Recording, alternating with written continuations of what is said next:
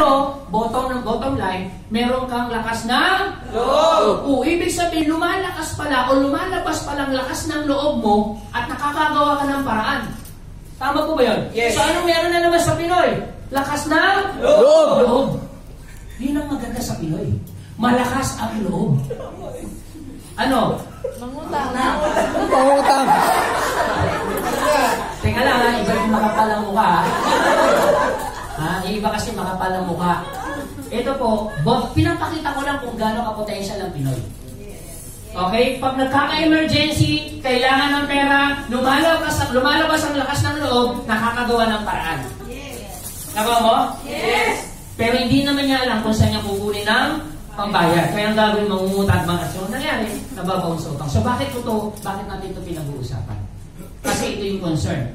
Makapag-decide ka man, hindi nga lang ito yung problema mo. So ngayon question, business. Ito question ko sa'yo.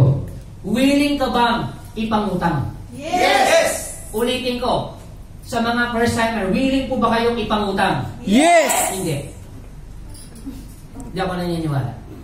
Kasi unang-una kung talagang willing kang ipangutang ang business, eh di dapat doon ka pa nag-business. I know, marami ng opportunity, marami ng business na inalok sa'yo. Dapat, dapat sana marami ng taong Pinoy or Pinoy na nagbibigosyo. Kung willing ipangutang. Nakuha niyo pa, Elia? Yes! So ngayon, tingnan mo to. Kung ipapangutang mo man ang business, ito sasabihin ko sa'yo. Dapat, mas malakas ang loob mo. Trust me. Dapat, mas malakas ang loob mo ipangutang ang business. Gusto niyo malaman, ask me why. Why? Tingnan mo to ah. Pag iba, pag ito ba ipinangutang mo, yung business ipinangutang mo, bibili mo ng bibili mo ng package o ng product. Bibili ka ng package? Yes! May package po ba tayo? Yes! Pag bili ng package, ang package, pwede ibenta? Yes! Pag nabenta, pwede maging pera? Yes! Pag naging pera, pwede pangbayad ng utang? Yes! Bakit ang hina ng loob mo, eh pwede naman palang pambayad? Aba! Ano mo? Ulitin ko ah. Ibibili mo ng package, pwede mo ibenta product, pwede maging pera. Pag naging pera, pwedeng ipambayad sa Utang. Okay, may utang ka ba ba? May business ka na? Yes! Yes! Yes! O, tingnan mo to. Bakit ka, bakit willing kang ipangutang? Alam mo bakit? Minsan mo lang ito gagawin. Minsan lang. Gusto niyo malaman kung bakit minsan? Bakit? Dahil minsan mo lang ipinangutang may package. Yes! Yes. Pwede ibenta. Yes. Pwede maging pera. Yes. Pwede pangbayad. Oh, Yes. minsan lang eh. Tignan mo ha. Kung palagi ka mangungutang at mangungutang ka na naman, last na to. Ito na yung huli-huli mo pangungutang. Bakit? Pag ikaw yumaman sa business mo,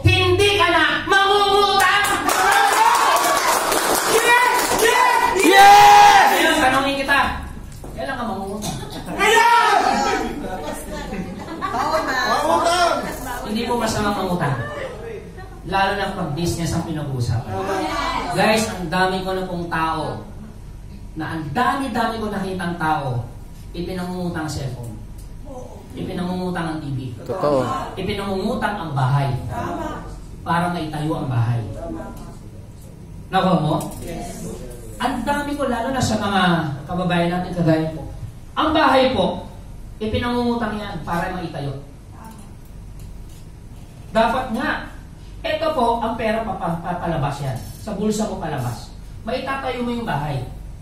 Dapat nga, sa business ka eh, nagpo-focus eh. Kasi ang business, pag kumita, pwede mo itayo yung bahay mo. Tama? Tuloy-tuloy ba? At kung, lumaki ang business mo, kahit ilang bahay ang itayo mo na hindi mo pinangungutang. Yes! Bakit na ganun yung maging mindset mo? Kaya kung meron man ho kayo ipapriority, guys, priority mo to. Bakit pwede magbago buhay mo? Sa isa pa, sisiguraduhin ko, ano naman yung magkano ba sa ano natin, sa kata? 1,000? 488. O gawin mo ng 1,500 pa yan. Maliit ito. Sobrang liit niyan. Magkano upa nito? Tingnan mo ha, nagagawa mo magnegosyo ng 1.5 lang ang pinuhunan mo. Magkano upa dito? Tama. Wala kang iniisip na upa. O punta ka dito, bubu- bubukas na. Aalis ka dito, may magsasarado. Dapat na-appreciate nyo kasi hindi lahat ng network marketing nakakapas nakapasok dito. Kung nakapasok man, illegal sila. Illegal. Siguro alam niyo naman po yung illegal. Sa legal. Yes. Nakuha niyo po? Yes. So, ibig sabihin, sobrang liit nito. Wala kang binabayarang kuryente. Pa magkano kuryente? Wala kang binabayarang tao. Eh, magkano rin yung tao? Wala kang binabayarang pwesto. Pero nagagawa mo magpatakbo ng business. At ito ay worldwide. Kaya masabi ko kagabi, don't live in the box. Alalahanin nyo, business mo hindi lang po sa katawan. Nagagawa mo mag-business na 1,500 lang ang pinuhunan mo, pero pwede mo inegosyo worldwide. Grabe. May system tayo. Ang system, yung dashboard mo, million yan. Yes. Wala ka nang iisipin system. Makikita mo na agad kung magkano kikitain mo. Tama. Nakuha niyo po ba yun? Yes. Yes. System pa lang magkano yan. Tama.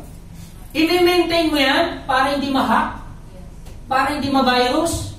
100,000 to 300,000 ang system maintenance niya. Nakuha mo? Thank you, JC. Kaya, Jessie! Kaya nga kung i-analyze ninyo, sobrang ganda po ng network marketing. Grabe. Al- ako nagsasabi po sa inyo, ang dami pong nabagong buhay because of network marketing.